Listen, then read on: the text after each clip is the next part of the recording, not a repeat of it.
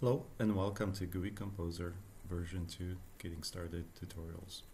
In this particular tutorial we're going to show you how to convert a target variable's value to a slightly different value. So do some post-processing on the values to uh, display a different type of data. Uh, so what I have here is a, a, simple GUI Composer application with two edit boxes. One is an input, so this is going to simulate my target variable, and uh, another widget for the output. In this particular case, we're going to do a Q math conversion, uh, specifically Q2 conversion. So to be able to add custom post-processing to the values that are coming off the target, we need to create a custom new uh, JavaScript file that will add some uh, boilerplate code to our uh, to our application. And specifically the section we're interested in is this uh, uh, GC data bind registry. So what this is going to do, we're, we're going to uncomment this particular section and we're going to completely replace this with our target variable. So as you can see here in the documentation, we're going to be doing this specific uh, type of a function. So widget ID property name, this is specifically the widget that we want to show some sort of a post-process value. So we're going to specify the widget ID and the property name. In most cases, this is the value property. Target variable, this is our source for the data. So in this case, we're normally you would enter your target variable.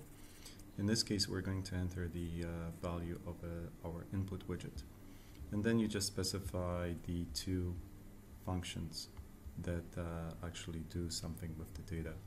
So this is a called a getter. So for example, when you're getting the value from the uh, from the target, and setter is when a function that does the math conversion when you want to set a particular value. Okay, so let's the widget ID and we are going to be using this value property. So let's open this file again.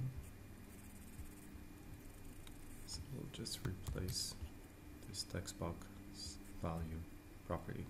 So now we're going to basically be setting the variable uh, the, the value here. Now let's get the our source widget. So we're going to bind it to this particular widget just as an example to keep things simple. But this is where you would normally enter your target variable name.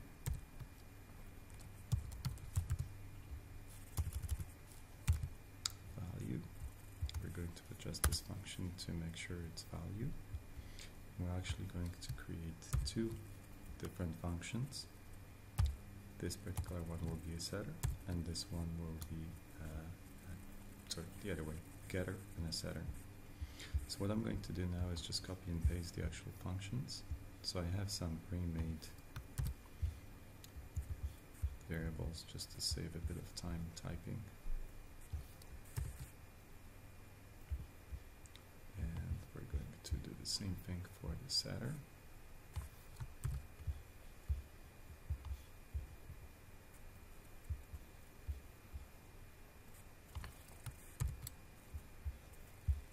Now we have our function that uh, custom function that does some data processing uh, configured. So we're going to exit out of here. We're going to preview our application.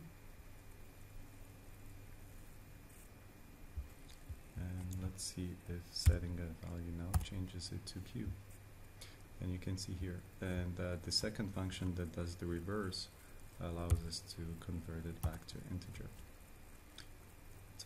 this is it. Thank you very much for listening and uh, viewing this video.